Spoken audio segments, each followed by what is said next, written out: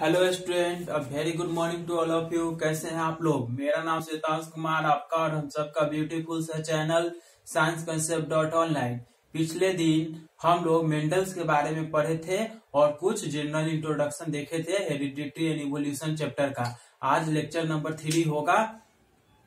जिसमें हम लोग देखेंगे मेंडल्स के एक्सपेरिमेंट के बारे में। पिछले दिन जेनेटिक्स टर्म को देखे थे। जेनेटिक्स क्या होता है? तो आप बोलेंगे, ये जेनेटिक्स एक बायोलॉजी का ब्रांच है जिसमें हम लोग हेरिडिटी एंड इवोल्यूशन के बारे में पढ़ते हैं। हेरिडिटी क्या है? पिछले क्लास में बताए हैं। The process of transfer of character from one generation to the next generation are called heredity बात कर चुके हैं। थोड़ा मेंडल्स के बारे में देखे थे कि उनका जन्म 22 जुलाई 1822 को हुआ था और उनका डेथ 1884 में हो गया था। Mendel's was an Austrian monk who firstly properly explain the mechanism of transfer of character from one generation to the next generation, जो जेनेटिक्स टर्म था, वो बेटसन के द्वारा दिया गया था, ठीक? ये सब चीज़ देखे थे। आज हम लोग मेंडल्स एक्सपेरिमेंट के बारे में पढ़ेंगे। लेटेस्ट स्टार्ट चलो देखते हैं क्या होता है मेंडल्स एक्सपेरिमेंट आज का टॉपिक है मेंडल एक्सपेरिमेंट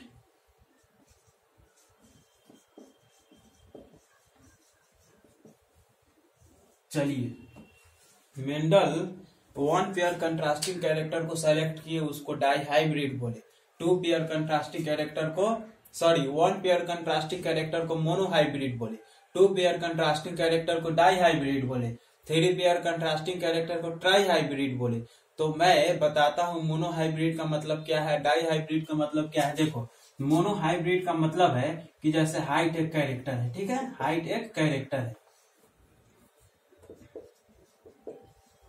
हाइट एक कैरेक्टर है। तो हाइट क्या हो सकता है? या तो टॉल हो सकता है या फिर ड्वार्फ हो सकता है। टॉल के लिए कैपिटल टी से रिप्रेजेंट करते हैं। देखो, बता देता हूँ ऐसे ए लिखा हुआ है तो एक कैपिटल टी है। और ड्वार्फ है तो स्मॉल टी से रिप्रेजेंट करेंगे, ठीक? तो मोनो हाइब्रिड क्रॉस का मतलब हो गया कि एक ही कैरेक्टर एक टॉल वाला, एक ड्वार्फ वाला मतलब एक डोमिनेंट एक रिसेसिव वाला से क्रॉस करेंगे तो ये दोनों एक ही कैरेक्टर है हाइट को कंट्रोल कर रहा है।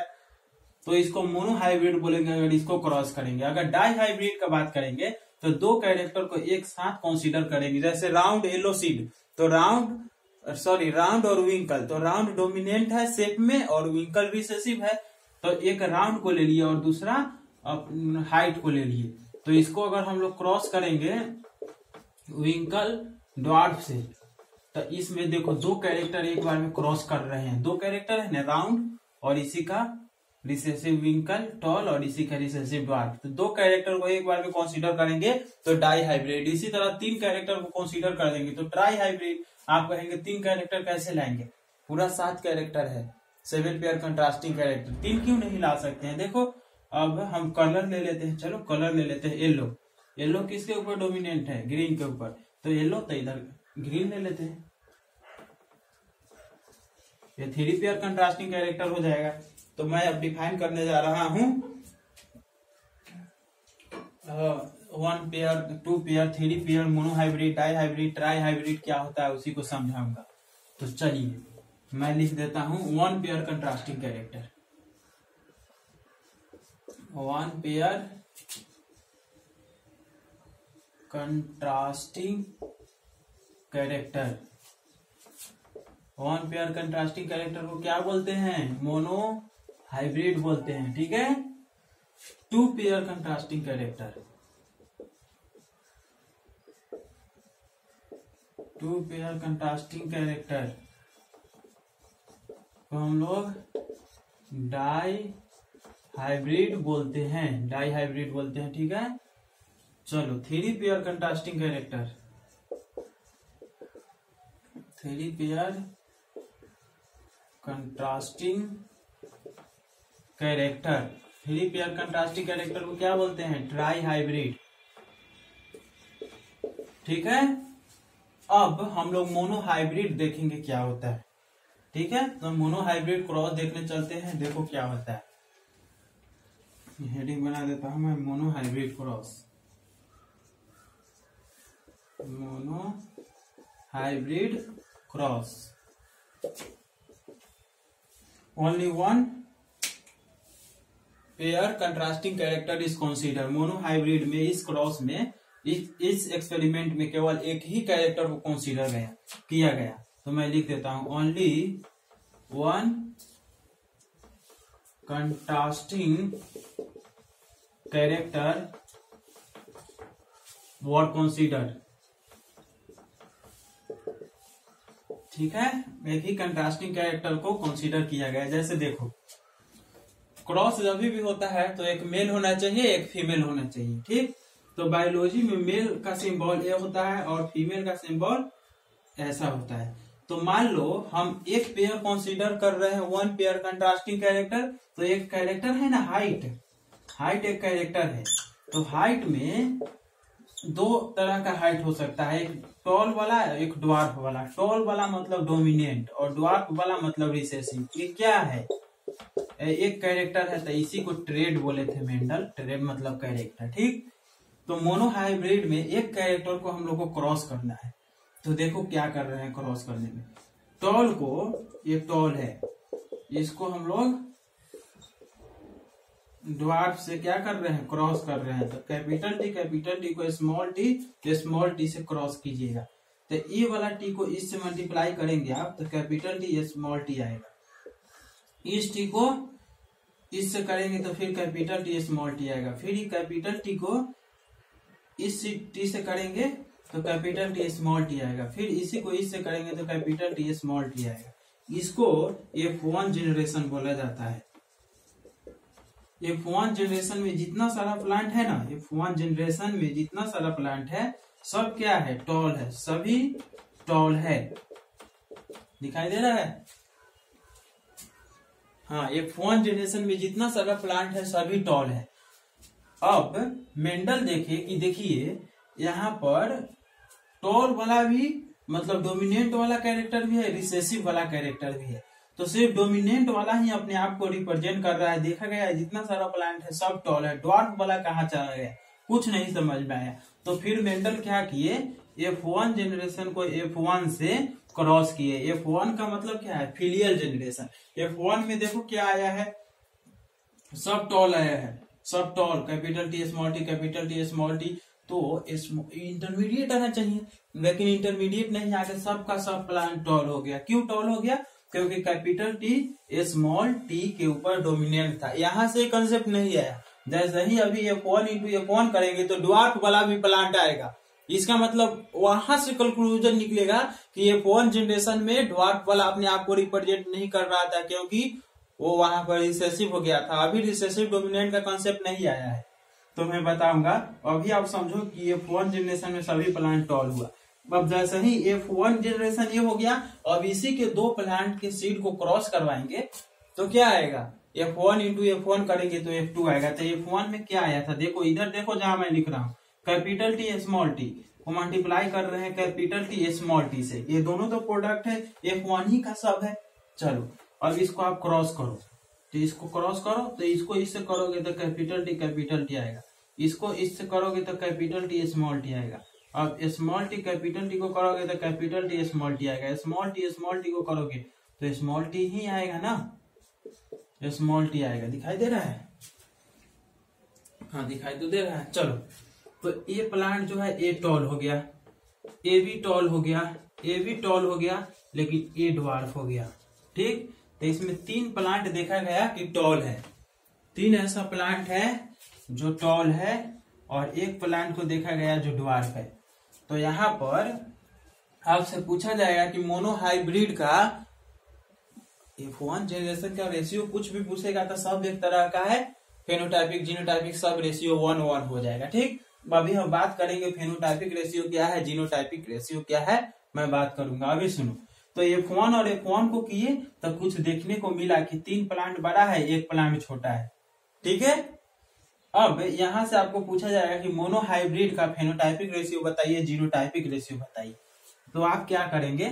मैं लिख देता हूँ, फेनोटाइपिक रेशियो का मतलब होता है एक्सटर्नल अपियरेंस एक्सटर्नल फीचर और जीनोटाइपिक का मतलब होता है जेनेटिक मेकअप जीन का क्या बनावट है? यहाँ देखो ध्यान से, ये सब जीन है, इसका बनावट देखो।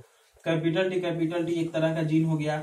ये capital T small T capital T small T दो ऐसा जीन है जो एक तरह का है, और ये स्मॉल टी स्मॉल टी जो जीन है ना, ये अलग तरह का है। दोनों तो अगर जीनोटाइपिक रेशियो का बात करेंगे तो ये वन हो जाएगा, ये टू हो जाएगा वन हो जाएगा। जीनोटाइपिक रेशियो क्या है? One is two two is two one genotypic मतलब जेनेटिक मेकअप मैं यहाँ पर लिख देता हूँ जीनोटाइपिक और फेनोटाइपिक का डिफिनेशन। आप पॉज करके रुको, मैं यहाँ लिख देता हूँ। फेनोटाइपिक क्या होता है? फेनोटाइपिक। इसका सिंपल बात है एक्सटर्नल फीचर। External feature. ठीक है? और दूसरा होता है जीनोटाइपिक। जीनोटाइपिक का मतलब जेनेटिक मेकअप कैसा है? जेनेटिक मेकअप ठीक है? चलो तो मोस्ट इंपोर्टेंट बात यह है कि मोनोहाइब्रिड जो है ना, इसका फेनोटाइपिक और जीनोटाइपिक रेशियो क्या है, उस पर बात करना है आपको। ये याद भी रखना है। फिर एग्ज़ाम में आएगा। फेनोटाइपिक रेशियो होता है थ्री इज़ टू वन मतलब तीन प्लांट टॉल है और एक प्लांट ड्वार्फ है। देख लो तीन प्लांट टॉल है एक ड्वार्फ है। क्यों? Capital T capital T tall होगा ही कैपिटल टी स्मॉल टी ये भी टॉल होगा क्योंकि कैपिटल टी डोमिनेंट है स्मॉल टी के ऊपर इसलिए ये अपने आप को रिप्रेजेंट कर रहा है लेकिन कैरेक्टर दोनों का है। अब कैसे है?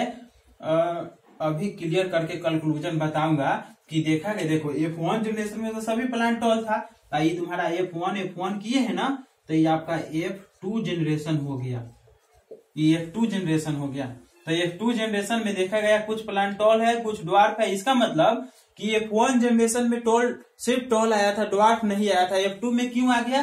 क्योंकि स्मॉल रिसेसिव वाला भी कैरेक्टर था प्रजेंट सब में है रिसेसिव वाला भी, लेकिन अपने आप को रिप्रेजेंट नहीं किया, क्योंकि जो जो कैपिटल टी है ना, जो टॉल वाला जीन है, वो डोमिनेंट है, इसलिए वही अपने आप को एक्सप्रेस किया है। लेकिन जैसे ही यहाँ दो रिसेसिव मिल गया तो ये भी अपने आप को रिप्रेजेंट कर दिया। इसलिए दोनों कैरेक्टर प्रेजेंट है, लेकिन एफ़ वन जनरेशन में कोई रिप्रेजेंट नहीं किया है एफ़ टू जनरेशन में रिप्रेजेंट कर दे रहा है। इसका मतलब यही से कंसेप्ट आता है कि जो कैपिटल टी है वो डोमिनेंट है, इसीलिए यहाँ पर सब रिप्रेजेंट किया है। अगर डोमिनेंट नहीं होता तो इंटरमीडिएट प्लांट आता, नहीं टॉल आता, नहीं ड्वार्फ आता, बीच का प्लांट आता, लेकिन ऐसा नहीं हुआ। तो ये फेनोटाइपिक रेशियो आपको याद रखना है three is two one genotypic ratio genotypic ratio आपको याद रखना है one is two two is two one देख लो, एक तरह का ये है। कैपिटल टी कैपिटल टी कहीं नहीं है ऐसा। कैपिटल टी स्मॉल टी दो ऐसा है। स्मॉल टी स्मॉल टी एक ऐसा है, इसलिए ऐसा लिख दिए। अब हम लोग बात करेंगे कल्कुलूजन पर। क्या कल्कुलूजन निकला? इससे पहले एक और तरीका है क्रॉस करवाने का, अगर किसी को नहीं समझ में आया होगा तो एक और तरीका है। देखो, मैं आपको कहाँ पे बता दू? चलो यहाँ पे बता देता हूँ। एक और तरीका है, जिसको पनिट स्क्वायर बोलते हैं। एक देखो कैपिटल टी कैपिटल टी को स्मॉल टी स्मॉल टी से क्या कराना है? क्रॉस कराना है। दिखाई दे रहा है? हाँ गुड तो इसको इससे मल्टीप्लाई करो। तो कैपिटल टी स्मॉल टी इसको इससे करो। तो कैपिटल टी स्मॉल टी इसको इससे करो। तो कैपिटल टी स्मॉल टी इसको इससे करो। तो कैपिटल टी स्मॉल टी देखो। नहीं, ये फ़ोन और ये फ़ोन को ना क्रॉस करना था। ये फ़ोन में कैपिटल टी स्मॉल टी आया था कैपिटल टी स्मॉल टी है, देखो कैपिटल टी स्मॉल टी तो इसको करो तो capital T capital T capital T small T इसको करो तो कैपिटल टी स्मॉल टी इसको करोगे तो स्मॉल टी स्मॉल टी अब देखो, ये सिंगल तरह का है प्लांट ऐसा कोई नहीं है, सिर्फ़ एक ही है कैपिटल टी कैपिटल टी और ये दोनों सेम तरह का है, देख लो, और ये सिंगल तरह का है। तो जीनोटाइपिक रेशियो क्या होगा? One is two two is two one phenotypic में ये तीन प्लांट बड़ा है, यही छोटा है तो इसको पॉनेट स्क्वायर बोलते हैं, इसको आप लिख सकते हो। Punnett square. चलिए, मैं इरेज कर रहा हूँ और मोनोहाइब्रिड का कंक्लूजन लिखने जा रहा हूँ। आप भी पॉज करके लिख लीजिए, मैं इरेज कर रहा हूँ।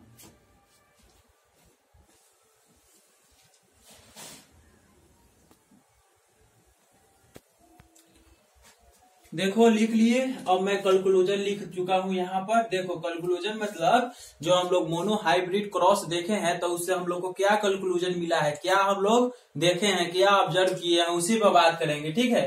देखिए कंक्लूजन में एफ़ वन जनरेशन में जितना सारा प्लांट हम लोग देखे थे, सब टॉल था। कैसे टॉल था? तो देखो एफ़ वन जनरेशन में क्या किए थे? टॉल और ड्वार को क्रॉस किए थे। तो सब ए वाला जीनोटाइपिक रेशियो आया था capital T capital T small T capital T small T फिर कैपिटल टी स्मॉल टी तो सभी तो प्लांट टॉल है ना? देखे थे। लेकिन as we cross the F one into F one यहाँ पर एफ़ वन सब सेम है जीनोटाइपिक तो देखो यहाँ पर हम कर देते हैं। सब सेम है? तो अब जैसे ही हम लोग एफ़ वन और एफ़ वन को क्रॉस किए हैं then we got F two generation हम लोग को एफ़ टू जनरेशन मिला है। इसको ऐसे किए थे ना? देखो ठीक से। ये किए थे तो ये तीन प्लांट टॉल है, एक ड्वार्फ है, ठीक है? तो एफ़ टू जनरेशन में हम लोग को कुछ plant in which some plant over tall and कुछ plant and some over dwarf in the ratio of three to one देखो, तीन प्लांट बड़ा है, एक प्लांट छोटा है, ये रेशियो हम लोग को मिल गया। तो देखो एफ़ वन जनरेशन में जीन जीन ऑफ़ ड्वार्फ जो ड्वार्फ वाला जीन था small T small T height के लिए वर प्रजेंट वो प्रजेंट था, लेकिन अपने आप को एक्सप्रेस नहीं किया। Due to presence of dominant gene अब यहाँ पर देखो, ये कैपिटल टी स्मॉल टी है तो अगर दोनों जीन इक्वल इफ़ेक्ट करेगा तो इंटरमीडिएट प्लांट होना चाहिए, नहीं, बड़ा होना चाहिए, नहीं, छोटा होना चाहिए, लेकिन ऐसा नहीं है, ये प्लांट बड़ा हुआ मतलब कि छोटा वाला भी जीन है, लेकिन वो अपने आप को एक्सप्रेस नहीं किया और पूछेगा कोई क्यों नहीं किया तो आप बोलेंगे, इसलिए नहीं किया क्योंकि कैपिटल टी डोमिनेंट है, इसलिए डोमिनेंट वाला ही अपने आप को एक्सप्रेस किया है। और जो स्मॉल टी है, वो रिसेसिव होने की वजह से अपने आप को एक्सप्रेस नहीं किया है। तो वही बात लिख दी है in F one generation gene of dwarf plant were present dwarf मतलब छोटा प्लांट के लिए जो जीन है, वो भी प्रजेंट है बट डज नॉट एक्सप्रेस लेकिन ये अपने आप को एक्सप्रेस नहीं किया due to presence of dominant gene ठीक है? अब डोमिनेंट क्या होता है? रिसेसिव क्या होता है? तो जो हेक्ट्रोजाइगस कंडीशन में अपने आप को एक्सप्रेस करे, उसी को डोमिनेंट बोलेंगे। देखो, और gene which express in heterozygous condition is called dominant अब कहिएगा, सर, आप हेक्ट्रोजाइगस कंडीशन क्या होता है? नहीं समझे? तो पिछले दिन हेक्ट्रोजाइगस कंडीशन बताए। देखो, ये ध्यान से देखो, ये होमोजाइगस कंडीशन हुआ। ये भी होमोजाइगस कंडीशन हुआ। दोनों एक तरह का जीन है ना? कैपिटल डी कैपिटल डी या स्मॉल टी स्मॉल टी तो ये होमोजाइगस कंडीशन है, लेकिन एक कैपिटल टी है, एक स्मॉल टी है। और ये हेक्ट्रोजाइगस कंडीशन हो गया, एक तरह का नहीं है अलग अलग है। तो हेक्ट्रोजाइगस कंडीशन में जो अपने आप को एक्सप्रेस कर दे, उसी को डोमिनेट बोलेंगे। तो कैपिटल टी अपने आप को एक्सप्रेस करता है, इसलिए कैपिटल टी को हम लोग डोमिनेंट बोलते हैं। किसके ऊपर? स्मॉल टी के ऊपर। चलिए, अब रिसेसिव क्या होता है? जो अपने आप को हेट्रोजाइगस कंडीशन में एक्सप्रेस नहीं करे।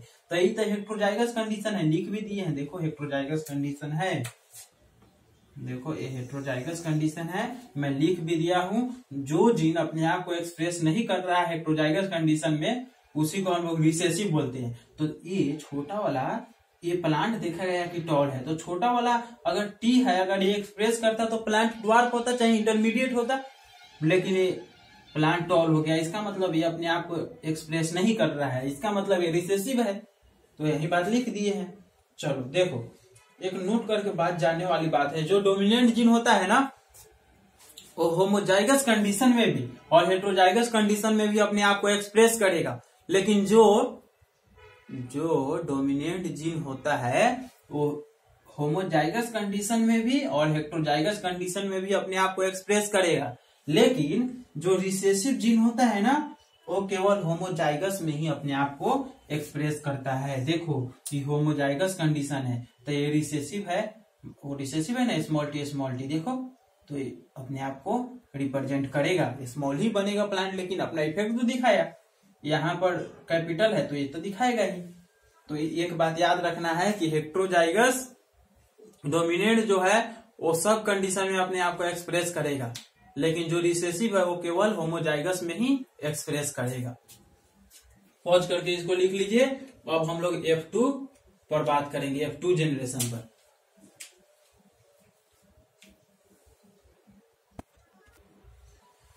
चलो मेंटल का मोनो हाइब्रिड हम लोग क्रॉस देख लिए, उसका कंक्लूजन देख लिए, जिसमें आपको याद क्या रखना है फेनोटाइपिक और जीनोटाइपिक रेशियो कोई आपसे पूछेगा मोनो हाइब्रिड रेशियो का फेनोटाइपिक रेशियो क्या होता है? तो आप सीधा बोलेंगे three is to one dihybrid का जीनोटाइपिक सॉरी मोनो हाइब्रिड का phenotypic ratio three is to one मतलब तीन प्लांट क्या है? टॉल है और एक प्लांट क्या है?